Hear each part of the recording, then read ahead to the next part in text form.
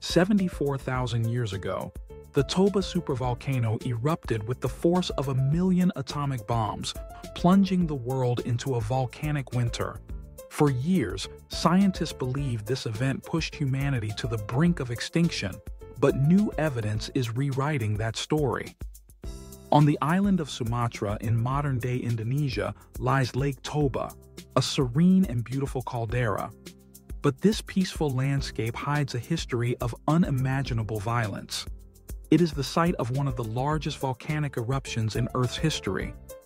When Toba blew its top 74,000 years ago, it ejected nearly 3,000 cubic kilometers of rock and ash into the atmosphere, an event that dwarfed any eruption in recorded history. This was not just an eruption, it was a planet-altering cataclysm the stakes of understanding what happened next are nothing less than understanding a pivotal moment in our own species' survival. Did this single event nearly wipe us out, reducing our ancestors to a tiny, fragile population? Or was it a crucible that forged our resilience and adaptability, ultimately helping to make us who we are today? The immediate aftermath of the eruption would have been apocalyptic. The sheer volume of sulfur dioxide and ash blasted into the stratosphere would have formed a thick veil, blocking out sunlight and causing global temperatures to plummet by as much as 15 degrees Celsius. This triggered a volcanic winter that may have lasted for a decade, followed by a thousand-year-long cooling period. The sensation would have been one of perpetual twilight, a cold, gray world where the sun was a dim ghost in the sky. The air would have been thick with the acrid smell of sulfur, and a fine layer of volcanic ash would have coated every surface across thousands of miles. Based on this climate modeling, in 1998, the anthropologist Stanley Ambrose proposed a dramatic hypothesis, the Toba catastrophe theory. He argued that this sudden, brutal climate shift caused a mass die-off of plants and animals, leading to a catastrophic collapse of the global ecosystem. For the small populations of early modern humans living at the time, this would have meant widespread famine. Ambrose connected this environmental collapse to genetic evidence. Studies of modern human DNA suggest that at some point in our deep past, our species went through a genetic bottleneck. The theory is that our population was reduced to as few as 1,000 to 10,000 breeding pairs. Ambrose proposed that the Toba eruption was the event that caused this bottleneck, nearly driving our species to extinction. For years, this was a powerful and widely accepted narrative. It was a story of a near miss, a moment when humanity almost didn't make it. But what if the story was wrong? What if the evidence for survival was simply buried, waiting to be found? The first major challenge to the catastrophe theory came from archaeologists working in India. They found layers of Toba ash at their sites, but crucially, they also found sophisticated stone tools directly above and below the ash layer. This suggested that human populations were present in the region both before and after the eruption.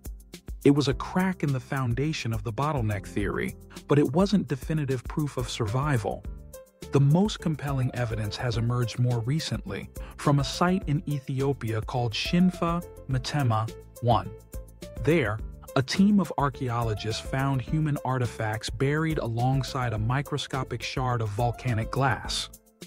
The chemical fingerprint of that glass was a perfect match for the Toba eruption, it was the smoking gun proving that people were living in this exact spot, right as the ash was falling.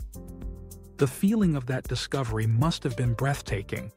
Holding a tiny piece of a supervolruption from the other side of the world, found next to a tool made by a human hand, is a direct, tangible link to a moment of planetary crisis.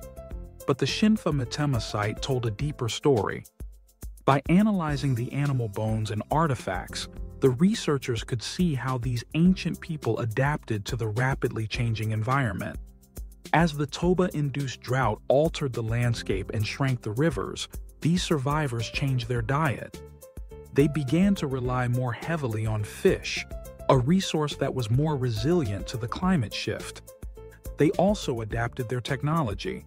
The researchers found the earliest known evidence of archery, small, pointed stone projectiles that were likely used as arrowheads. This was a major technological leap, allowing them to hunt a wider range of animals more effectively. This wasn't a story of a desperate dying population. It was a story of incredible behavioral flexibility and innovation. Faced with a crisis, these humans didn't just endure, they adapted, invented, and thrived. The evidence from Africa and India directly challenges the global catastrophe narrative. While the Toba eruption was undeniably a massive environmental shock, its impact on human populations seems to have been regional, not global. Some groups may have suffered, but others, particularly in Africa, demonstrated a remarkable resilience that allowed them to weather the storm. This revised story of the Toba event reframes it from a near extinction event to a critical test. The challenges posed by the volcanic winter may have acted as a powerful selective pressure, favoring the most adaptable and innovative human groups. It may have been the very crucible that spurred the development of the complex cognitive skills that allowed our species to later expand out of Africa and colonize the entire planet. So, did Toba nearly wipe us out, or did it help make us stronger? The answer appears to be the latter. It was a profound test of our species' ability to survive, a test that our ancestors passed with ingenuity and resilience, ensuring that their descendants, us, would one day inherit the earth. If you find mysteries like this compelling, consider following as we continue to investigate the enigmas of the past.